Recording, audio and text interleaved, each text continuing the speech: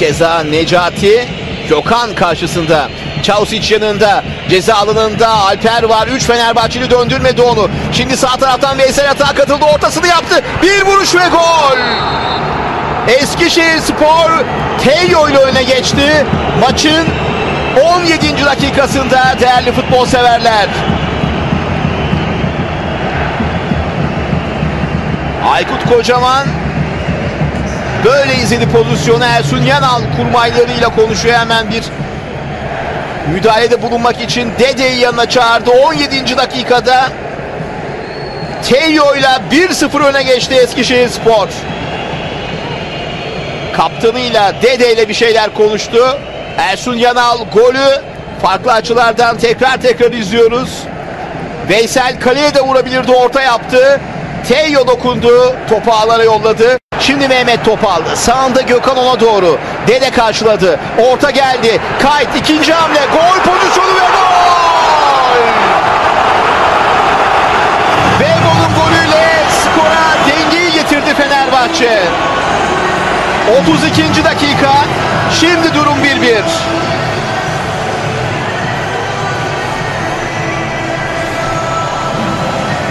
Kez sevinme sırası Fenerbahçelilerde. Bu kez Aykut Hoca yanına alanda birbirlerine sarıldı. Artık heyecan dorukta değerli futbol severler. Bir top, bir kale. Penaltı atacak futbolcu ve kaleci. Christian Baroni topun gerisinde. Kalede Bofen dikkatli. Seri penaltı vuruşlarında ilk sıra Fenerbahçe'nin. Hüseyin Göçek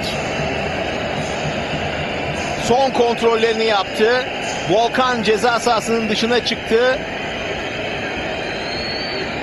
Onun duracağı bölgeyi şimdi yardımcı işaret etti. Christian Baroni topun gerisinde. Bofen Hüseyin Göçek işaretini verdi. Christian Baroni topun üzerine geliyor. Baroni vurdu ve gol. Christian Baroni ile penaltı vuruşlarında 1-0 öne geçti Fenerbahçe. Barani direğe çarptırma hakkında net maç sırasında kullandı. Aynı köşeye attı gene.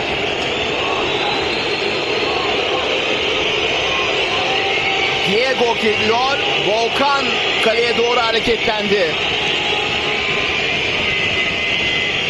Çok sert ve düzgün vuruşları olan bir isim.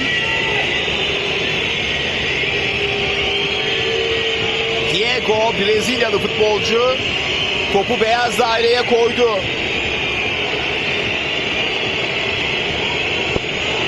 Volkan şimdi yerini aldı. Hüseyin Göçek işaretini verdi. Diego geldi topu ağlara yolladı. Penaltı vuruşlarında da bir birlik beraberlik var.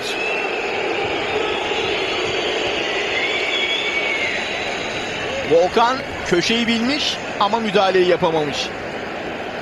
Şimdi kart geliyor. İkinci penaltı vuruşu Fenerbahçe'de Dirk Kuyt topun gerisindeki isim.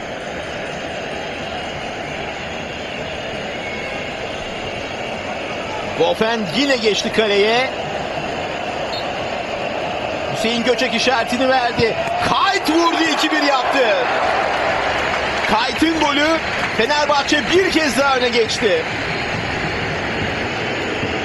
Büyük heyecan penaltılarda da devam ediyor. Şimdi Necati Ateş hareketlendi Eskişehir Spor'da.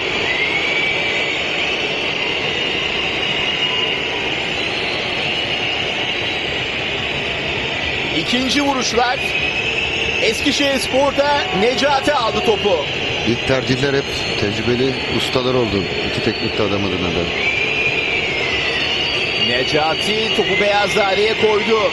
Volkan kalede dikkatli Hüseyin Göcek işaretini verdi. Necati vuruşunu yaptı Volkan. Volkan çıkarttı. Volkan çıkarttı. Fenerbahçe penaltılarda ikinci vuruşlar sonunda 2-1 önde. İşte Necati'nin vuruşu, Volkan'ın kurtarışı. Pierre Webo geliyor. Üçüncü vuruşlar için işte Necati çok üzgün. Arkadaşları hemen gitti onu teselli etmeye.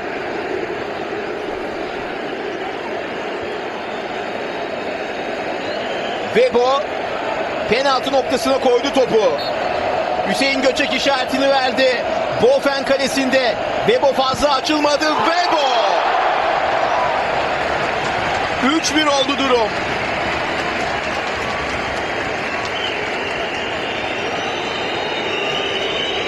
Çavusic genç bir oyuncu. Ocak'ta geldi değil mi Çavusic Ender? Arada Ara geldi, evet. transferde. Heyecan dorukta Şükrü Saraçoğlu'nda.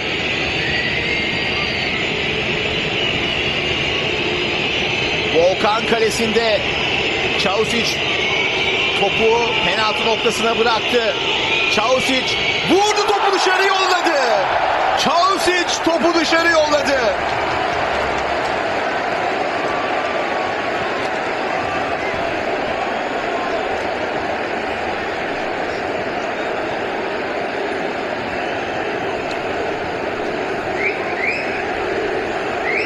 Fenerbahçeli futbolcular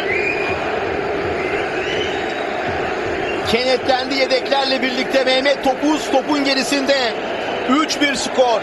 Gol olursa Dördüncü atış atarsa bitecek. Mehmet Topuz vurdu ve Fenerbahçe 4-1 yaptı. Fenerbahçe finale yükseldi. Penaltı vuruşları sonunda geçtiğimiz yıl Kayseri Sporu saf dışı bırakmıştı. Bu yılda Eskişehir Sporu geçerek adını finale